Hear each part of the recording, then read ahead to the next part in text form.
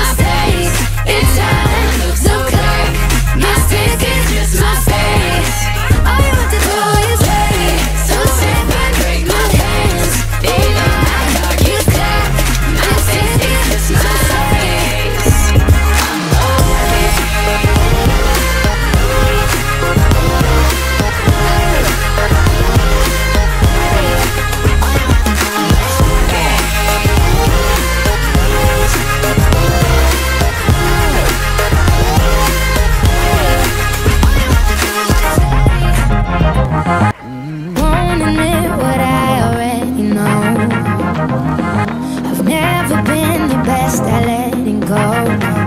Are your eyes okay? They rolled away right down the interstate, but at least you can't cry today. But it doesn't care.